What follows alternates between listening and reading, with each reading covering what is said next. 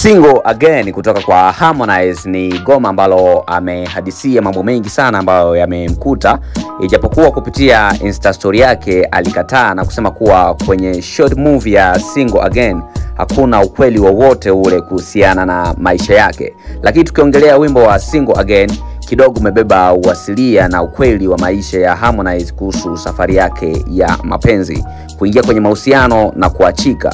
Tukiachana na mahusiano ya Harmonize, tukiongelea ukubwa wa Single Again. Single Again ni miongoni mwa magoma ambayo yamempeleka Harmonize ki worldwide zaidi.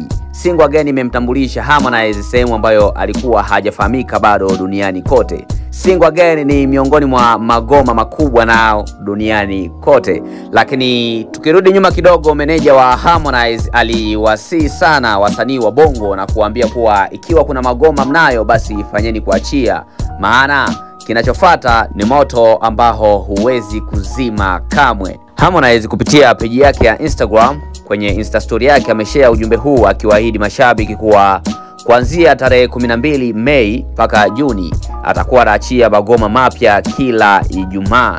Every Friday lazima padondoke new music.